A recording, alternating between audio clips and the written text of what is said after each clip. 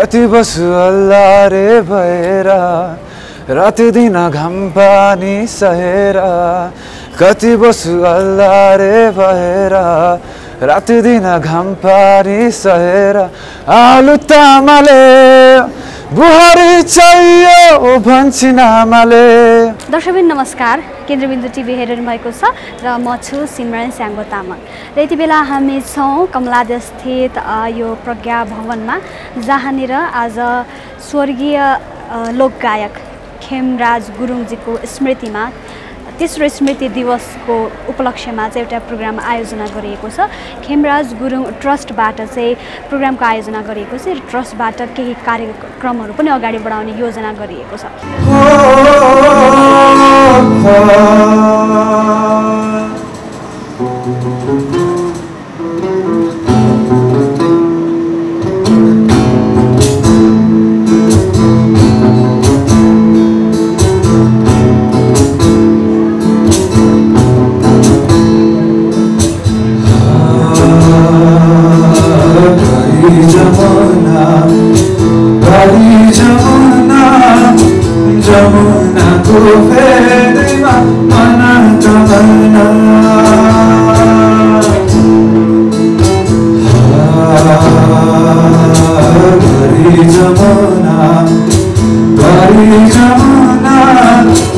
र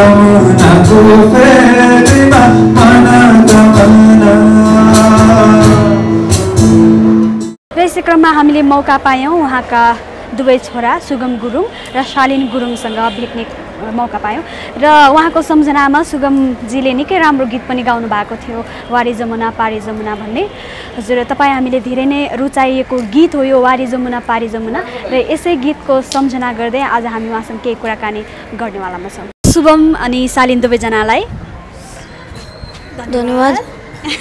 thank you okay आज चाहिँ अब हजुरहरूको बाबाको तेस्रो स्मृति दिवसमा ट्रस्टले एउटा प्रोग्राम गरेको छ।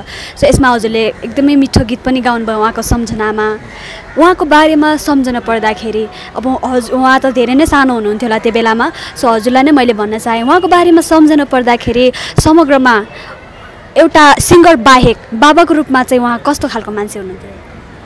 अब सिङ्गर बाहेक पनि उहाँ चाहिँ हाम्रो लागि अब राम्रो फादर पनि हुनुहुन्थ्यो। हामी सानैदेखि मम्मी हङकङमै हुनुहुन्थ्यो र मम्मी नहुँदा पनि बाबाले चाहिँ मम्मी बाबा दुइटैको माया दिनुहुन्थ्यो हामीलाई। हामीलाई हेर्ने अनि पढाउने स्कुल पठाउने कुराहरू सिकाउने म्यानर सिकाउने सबै उहाँले गर्नुभएको। अनि जस्ट सिङ्गर भन्दा पनि मलाई चाहिँ मेरो लागि ऊ एउटा फादर भएकोमै प्राउड फिल हुन्छ। के आफ्नो बाबाले जे काम जस्तो काम गरे पनि बाबा हुनुमै त्यो एकदमै ठुलो कुरा हो होइन? आफ्नो बाबा एकदमै प्यारो हुन्छ। सो आजको यस प्रोग्राममा तपाईँले त्यो गीत गाउँदै गर्दाखेरि धेरैजना लगायत म आफै पनि धेरै इमोसनल भएँ उहाँलाई सम्झेर होइन?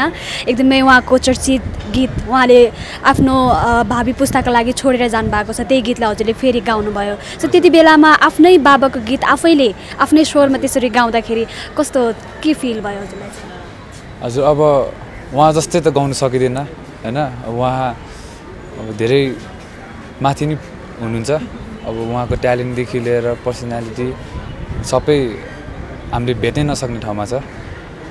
अनि तर पनि अब अब ट्रस्टले यो प्रोग्राम राखेको बेलामा उहाँकै सम्झनामा उहाँकै गीत गाउनु मन थियो मलाई नि। अनि राम्रो भयो नि भने अब कस्तो थाहा भएन मलाई होइन तर नि प्रयास गरेँ। अनि मलाई यो गीत गाउँदा नि कस्तो अर्कै अर्कै फिलिङ्स आउँछ क्या। यो गीत त बाबाको हो भनेर क्या। अरूले बजाउँदा अरूले पनि गाउँदाखेरि यो गीत त बाबाको हो भनेर अर्कै फिलिङ्स आउँछ क्या। ओके शालिनजी तपाईँ मान्छे नाम जस्तो मान्छे पनि त्यसै शालिन हुनुहुन्छ है। बाबाको केही थाहा छ कुराहरू? उहाँले भन्नुभएको कुराहरू याद छ? मलाई त्यति थाहा छैन। कति वर्षको हुनुहुन्थ्यो त्यति बेला याद छ? म सेभेन। सेभेन इयर्सको हुनुहुन्थ्यो। कति अनि बाबाले अब सेभेन इयर्सको मान्छेलाई अलिअलि भए पनि त सम्झन सक्नु तपाईँ केही सम्झिनुहुन्छ बाबाको? म धेरै त सक्दिनँ। म फ्राइडे फ्राइडे मात्रै आउँथेँ घर ए, फ्राइडे फ्राइडे आउनुहुन्थ्यो अनि फ्राइडे फ्राइडे आउँदाखेरि बाबाले तपाईँलाई के गर्नुहुन्थ्यो भन्नाले अब आफ्नो कान्छो छोरो माया त अभियसली गर्नुहुन्थ्यो होला। के भन्नुहुन्थ्यो माया गरेर? त्यही अब के लगाइदिउँ के किनिदिउँ त्यस्तै। के ल्याइदिउँ के किनिदिउँ भन्नु। बाबाले किनिदिनु भएको त्यस्तो चिज अहिलेसम्म छ तपाईँसँग केही? अह। बाहिर बाबाले किनिदिनु भएको केही पनि छैन? ओके ठिकै छ।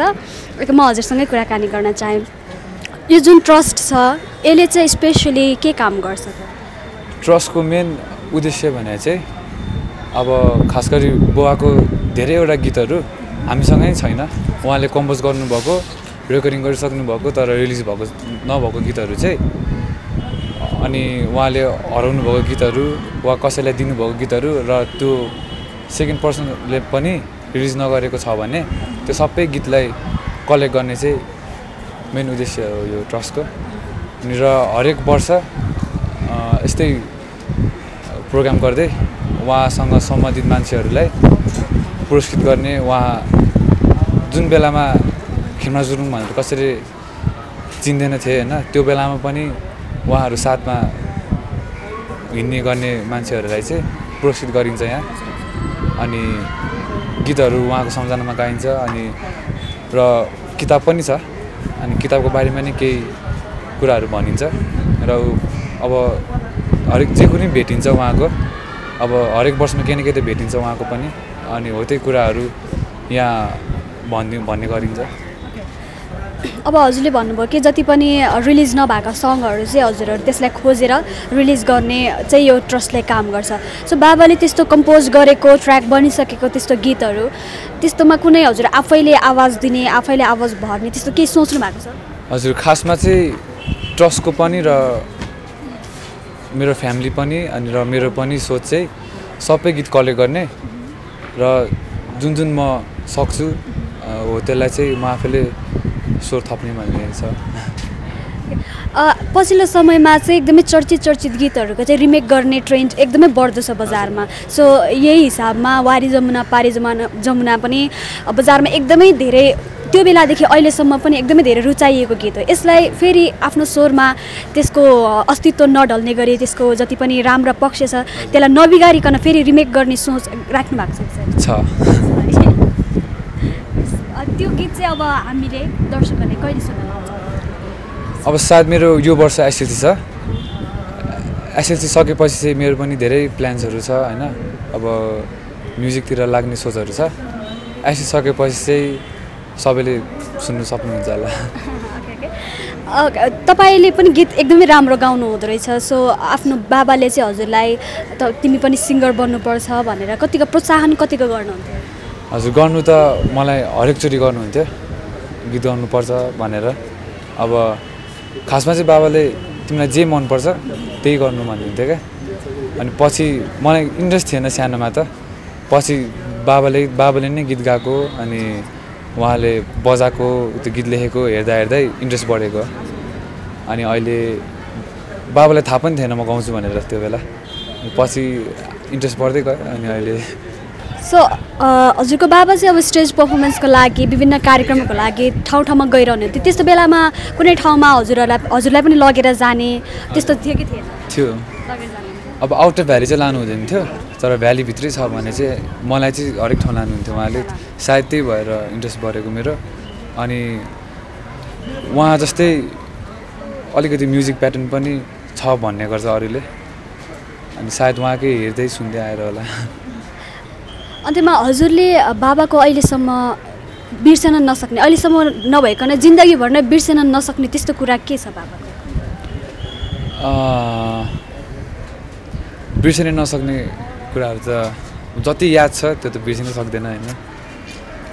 तर उहाँले घरमा एक्लै हुनुहुन्थ्यो जस्ट हामी मामा घरै बस्ने गर्थेँ अनि त्यो बेलामा मलाई सा ऊ त भाइ त सानै थियो।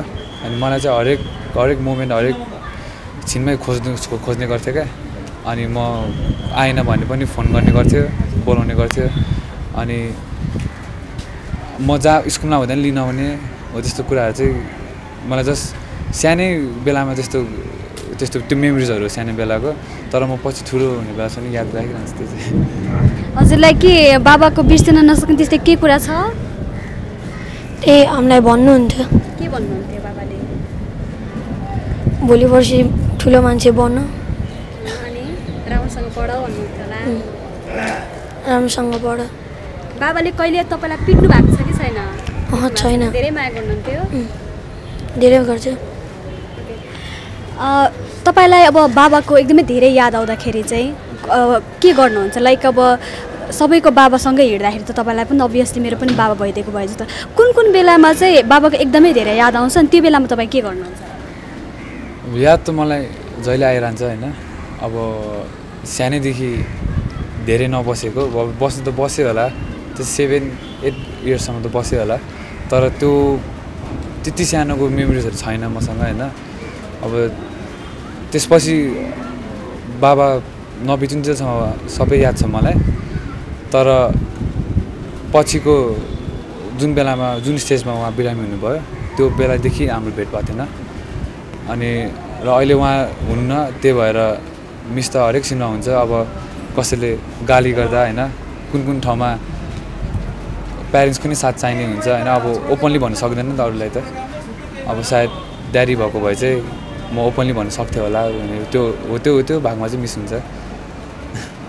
लास्ट टाइम हजुरले कहिले बाबालाई कहिले भेट्नु भएको थियो? साँच्ची भन्नुपर्दा मलाई याद छैन कहिले भेटेको किनभने उहाँ बित बित्नु भएको बेला भन्दा नि टु थ्री मन्थ्स अगाडिदेखि नै हाम्रो भेट भएको थिएन। अनि म अलिक सानै पनि थिएँ अनि खासै मेमोरिज छैन मसँग त्यो बेलाको।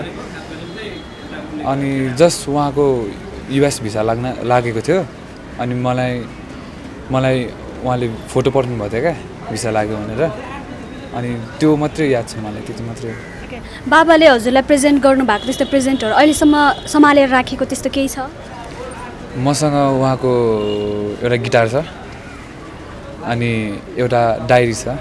त्यो डायरीमा चाहिँ अहिले कति कति कुराहरू आउँछ नि त। त्यो लेख्ने गर्ने अनि अलिकति म्युजिकहरू त्यस्तो गर्ने। Thank you so much thank you thank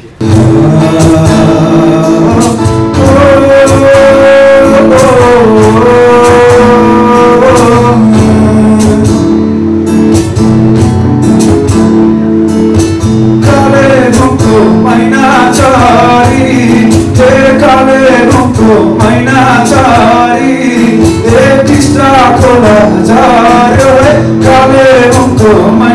हज़ार